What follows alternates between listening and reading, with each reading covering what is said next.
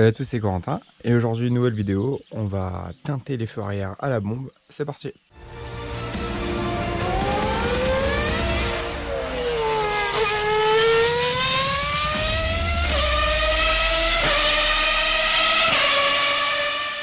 Donc les gars, on va teinter les feux arrière avec euh, cette bombe euh, exprès pour les feux, voilà, euh, teinte noire.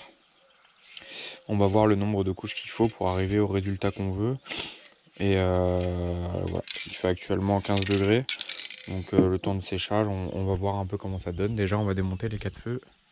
Et c'est parti. Donc les deux feux qui sont déjà sur la voiture, plus les deux qui sont sur le coffre. Donc pour les feux arrière, rien de bien compliqué. Deux vis là et là. Ici, on déclipse. Hop. Tac. Et après, on sort le phare. Alors pour les feux du coffre, euh, un petit clips ici. Tac. Donc il y a une petite, euh, il y a une petite cosse, je sais pas si vous allez voir.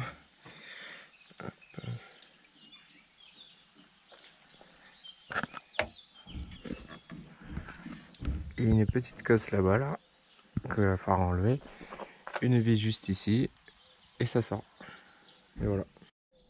Donc voilà. On a tout démonté. On a tout lavé. Tout est nickel. Euh, maintenant ce que je vais faire c'est que je vais vous mettre la caméra au dessus je vais vous faire un petit time lapse avec le nombre de couches etc et on voit le résultat final monter allez à toutes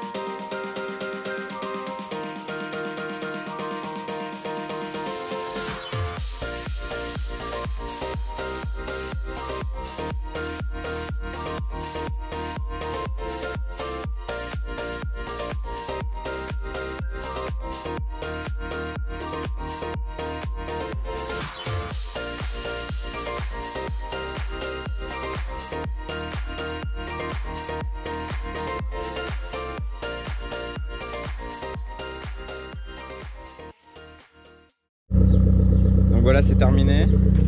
J'ai dû vider la bombe, je pense, à peu près, dessus. Euh, le rendu est propre, mais je voulais que ce soit bien foncé. Euh, comme vous pouvez le voir, le... les clignotants, on les voit quand même relativement bien. Freine. Et même au niveau du freinage, ça se voit super bien. Je pense que la nuit, euh, on, le verra, on le verra relativement bien. Après, si vous voulez optimiser vos, vos optiques arrière, rajoutez des ampoules LED. Mais euh, bon, déjà, c'est plutôt pas mal. Voilà les gars. Donc voilà, pour avoir le rendu final, euh, on a pris euh, la, bombe entière. Et voilà, c'est vraiment le rendu maximum qu'on peut avoir avec une seule bombe.